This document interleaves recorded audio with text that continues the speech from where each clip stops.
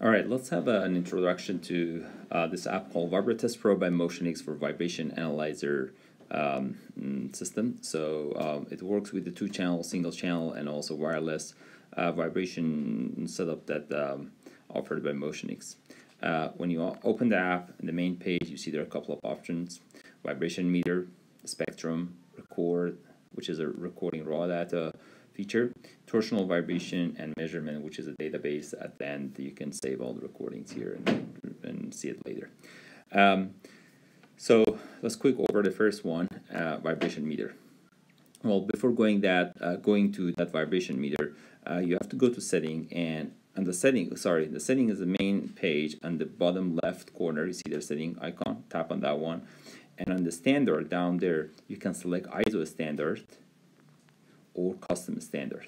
If you use ISO standard, um, everything, the vibration meter is based on ISO standard. Otherwise, you can enter the threshold for uh, those region of um, red, yellow, green, and blue. Uh, if I select ISO, go back here, vibration meter, uh, you can select the group of the machine. Let's say group 3, and then you can select foundation, rigid. It shows the um, the machine condition. The number now is jumping up and down because it's not connected to our um, uh, is not connected to our hardware. Uh, on the right side, you can select the unit, um, the bottom one, channel one or channel two, and the top um, text that you see here. It's uh, the, the main one is um, vibration velocity RMS, and the top one is also showing acceleration RMS. You can tap on the right top corner uh, it shows the definition of all those zones. And then also in the bottom uh, middle, you can tap and save, uh, sorry, and, and, see the main um, uh, page, full screen of the same indicator. You can tap on the right uh, bottom one to save that one. Let's say, let's go back and um, let's say that's it, that's that's what I'm seeing here, right? Go here, for example, the number again, it doesn't make sense now because not connected to sensor, but let's say I want to save this one, you can go to the database of the, the app, which is structured as plant, machine, and then test point. Let's say you can create a test point or we can create any machine or plant. Let's say uh, point two, it will be added. You select that one, you can add the image from the camera or from your library or add a note where you can talk and enters actually it's a, a speech to text. Um, so save it. And if you go back to the main page from measurement you can tap on the plant machine and measurement point. You see that number down here and RMS showing here right? Um, let's go back again on the same page. Uh, on the left bottom corner you can uh, email and export this page it takes a screenshot and send it to your email or someone else's email. And again if you go to back to setting and change that standard from ISO to custom so you can go back and see that the whole thing is changed to one page simple that is based on your custom standard. All right so that's the first feature. The second feature is spectrum and waveform page. Tap on that one. Once you come here you see the spectrum. There are a lot of features here. Quickly I'm going to go over some of them. From the bottom um, Mm, from the uh, bottom mm, icons, let's look at from the left, the close one, of course, then the next one, you can switch between time and frequency or FFT or spectrum. Um, you can easily, um, let's go to FFT, you can switch from acceleration to velocity, the next icon, right?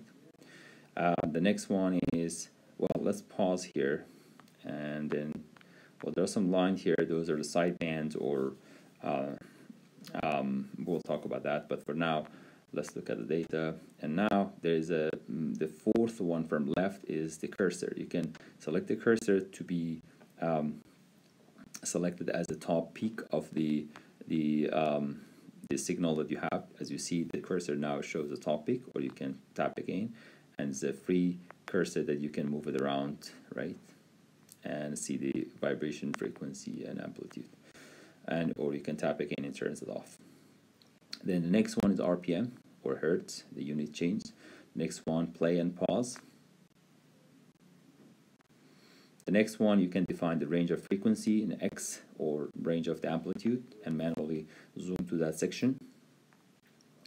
Uh, the next one, which is an eye icon, um, it brings a, a, a, box showing all the information summary of the measurement for both channel 1 and 2 frequency and 1x frequency and top 5 peaks. Let's turn off this one. The next one is um, auto zoom. If I tap on that one, it's going to auto zoom the whole thing, right? Um, the next one is uh, uh, uh, you can save this measurement to the database, the same structure that I showed you before. Select plant, machine, point, and add that one here. And if you go back again to the main page, you will see it saved. On the top right corner, if you tap on that icon, it, make it, it makes it um, full screen. Um, the top sorry, the bottom right corner, the setting, the setting is different than main setting of the app. The setting is for spectrum and the viewer here. The background you can change some of this uh, line color for channel 1, channel 2, uh, line thickness, uh, the grid line for X and Y you can turn off and on. The X-axis can be linear or log, Y-axis the same. You can have auto scaling for Y-axis. Signal can be the unit for signal can be metric or imperial, hertz and RPM for the frequency. You can turn on channel 1, 2 or both of them at the same time. Uh, vibration can be shown in acceleration or velocity.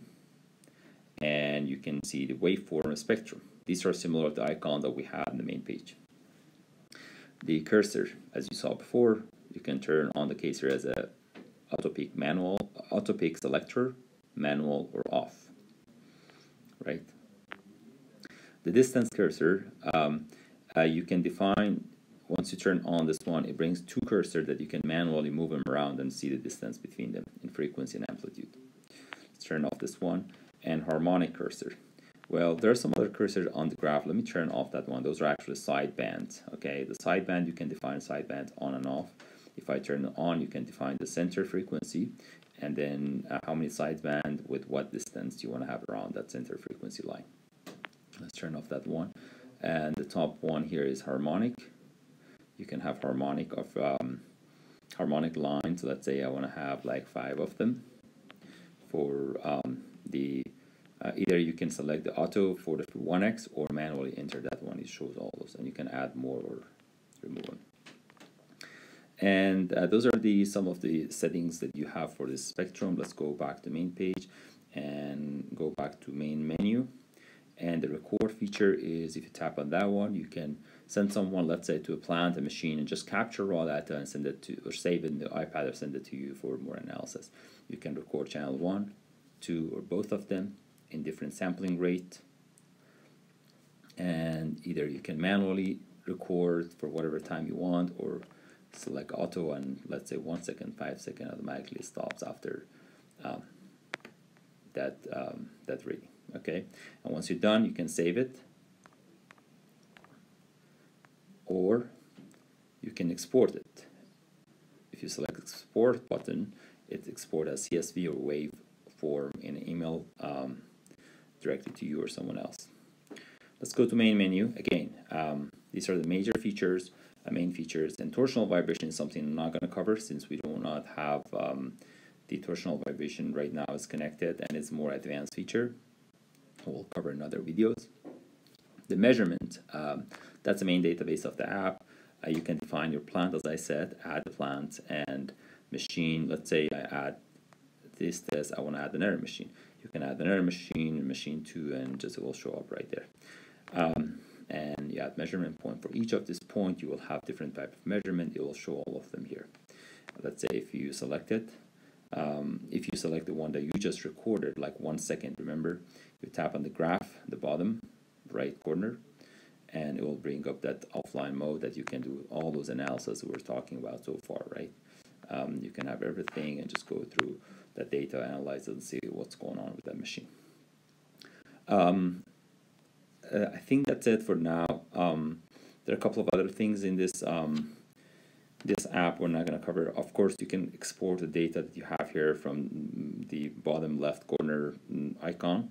Uh, I'm not going to go through that. Um, that was a very short summary of the features that we have on this main app for vibration analysis. Um, we have a couple of other features coming up to be added to this app soon, and we have other apps, iVibrometer, roller balancer for roller balancing, that will cover in other videos. Thanks for watching.